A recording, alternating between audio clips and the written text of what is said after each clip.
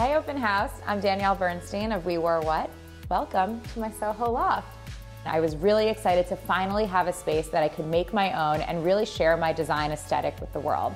This inspiration was a very lived in, wabi sabi, neutral vibe. You'll see a lot of playing with organic textures and shapes and really an appreciation for imperfection. So as soon as you walk into the space, you are greeted by this gorgeous bookshelf. It has collected vintage pieces from all over the world. And then at the end of the hallway, you have this really dramatic shutter that lets light in throughout the day and just creates this really dramatic effect. And then further down the hallway, we have this massive mirror that was custom made in Brooklyn as my selfie and outfit of the day mirror. I really wanted something that was super wide and really tall, and it has this beautiful reclaimed wood on it, and this is where I take all of my outfit photos.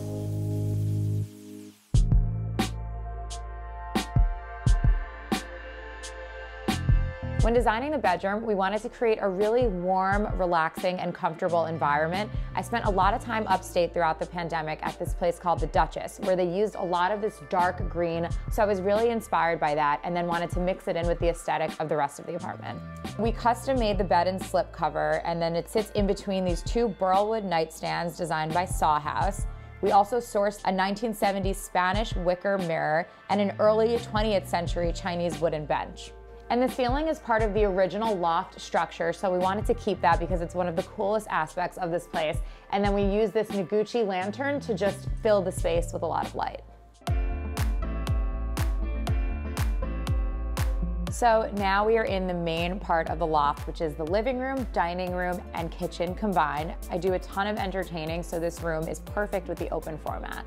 And you'll see we have a lot of interesting plants and different ceramics throughout the space to make it feel really special. So we custom made this sofa with Marissa from Corvino Designs, and I wanted it to feel like it was swiveling around and opening up to the rest of the room, but it has these really sharp angles, completely custom made with this really amazing piece of wood on the back to serve as a shelf, but also where you could eat and watch TV. Now we're in the dining area, which sits really open to the kitchen. It's not only where I entertain, but where my team works. So we wanted to create a really great sitting environment with a mixture of a banquette and then these beautiful Jeanneret chairs.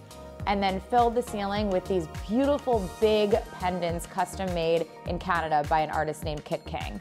I love this area so much. I love hosting dinner parties and my team loves working here all day and just creating a really cool flow.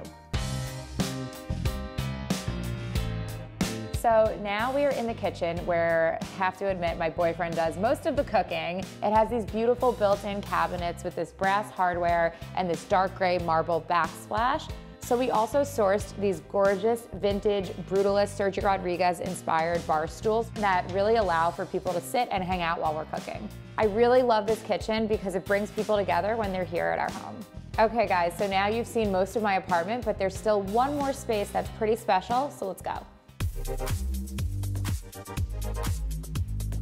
Welcome to my dream closet. Well, actually, it was the primary bedroom, but we converted it into my absolute dream closet, which is highly functional, but also beautifully designed.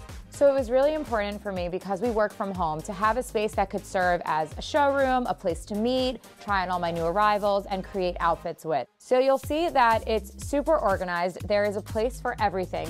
And this is my massive shoe wall. It's really the first time that I've been able to see all the shoes that I've collected over the years. And in this corner of the closet, we have my sunglass and accessories wall, which really helps make styling my outfit super easy and also shows all of the new sunglasses from my brand. I really feel like it's a space that not only makes my job super easy, but also allows me to be really creative.